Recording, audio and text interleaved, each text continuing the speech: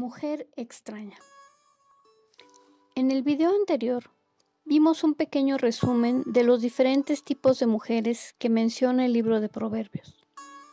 El primer versículo que menciona a la mujer en este libro se encuentra en el capítulo 2 y menciona a la mujer extraña. Verso 16. Serás librado de la mujer extraña, de la ajena que halaga con sus palabras. Otros versículos en el libro de Proverbios que mencionan a la mujer extraña son Proverbios 5.3, porque los labios de la mujer extraña destilan miel, y su paladar es más blando que el aceite. Nueva versión internacional, de los labios de la adúltera fluye miel, su lengua es más suave que el aceite. Proverbios 5:20. ¿Y por qué, hijo mío, andarás ciego con la mujer ajena y abrazarás el seno de la extraña? Nueva Biblia viva. Hijo mío, no te enredes con la mujer infiel, aléjate de sus caricias. Haciendo un análisis de los versículos que mencionan a la mujer extraña, podemos ver una relación con la mujer ajena. También parecería que la mujer extraña podría tener relación con la mujer ramera pero podemos ver la diferencia en el capítulo 6, verso 26. Porque a causa de la mujer ramera, el hombre es reducido a un bocado de pan, y la mujer caza la preciosa alma del varón. Otras versiones, la Biblia de las Américas, porque por causa de la ramera, uno es reducido a un pedazo de pan, pero la adúltera anda a la casa de la vida preciosa. Dios habla hoy. La prostituta va tras un bocado de pan, pero la adúltera va tras el hombre que vale. Nueva traducción viviente. Pues una prostituta te llevará a la pobreza, pero dormir con la mujer de otro hombre te costará la vida. Nueva versión internacional. Pues la ramera va tras un pedazo de pan, pero la mujer de otro hombre busca tu propia vida.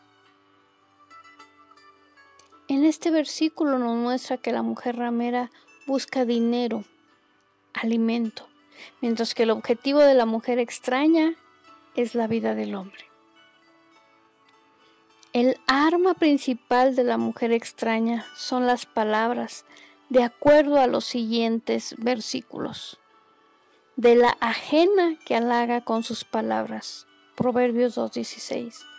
Porque los labios de la mujer extraña destilan miel y su paladar es más blando que el aceite.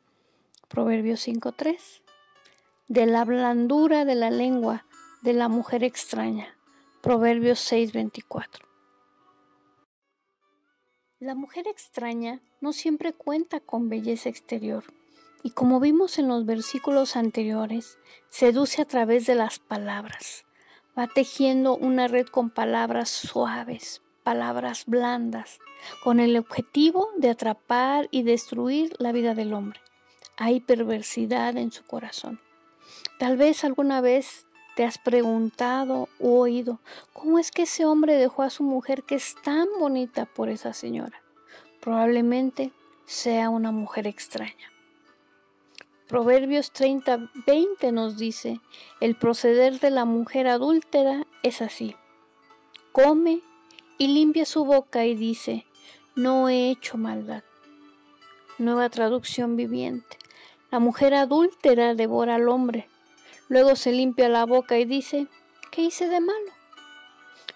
Un ejemplo en la Biblia acerca de la mujer extraña es Jezabel.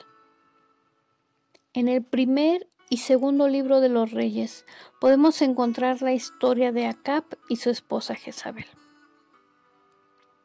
Ciertamente no hubo ninguno como Acab que se vendiera para hacer lo malo ante los ojos del Señor, porque Jezabel su mujer lo había incitado. Primera de Reyes 21-25. Jezabel fue la autora intelectual en el asesinato de Nabot para arrebatarle su propiedad. Esto lo podemos encontrar en Primera de Reyes capítulo 21 del verso 1 al 13. También dio muerte a los profetas del Señor que pudo apresar, como lo leemos en Primera de Reyes 18:13. También se propuso dar muerte al profeta Elías, en Primera de Reyes 19, versos 1 y 2. En Segunda de Reyes 9:22 leemos, y sucedió que cuando Joram vio a Jehú, dijo, ¿hay paz, Jehú? Y él respondió, ¿qué paz mientras sean tantas las prostituciones de tu madre Jezabel y sus hechicerías? Al hablar de hechicerías, nos da otra característica de la mujer extraña. Hay espíritus o demonios seductores que operan en estas personas. Con ellos enlazan la vida del hombre para controlar y manipular sus vidas. Recordemos, la mujer extraña busca cazar y arrebatar la vida, algo similar a lo que nos menciona el Evangelio de Juan capítulo 10, verso 10. El ladrón no viene sino para hurtar y matar y destruir. La Biblia nos dice, camino al Seol es su casa, que conduce a las cámaras de la muerte, en Proverbios 7, 27. Por ello, es importante para los hijos de Dios reconocer a la mujer extraña dentro y fuera de la iglesia. En el capítulo 7 de Proverbios se nos da el antídoto. Obedece mis palabras, hijo mío. Guarda en tu mente mis mandamientos. Obedece mis mandamientos y enseñanzas. Cuídalos como a la niña de tus ojos y vivirás. Átalos a tus dedos, grábatelos en la mente. Haz de la sabiduría tu hermana, haz de la inteligencia tu amiga.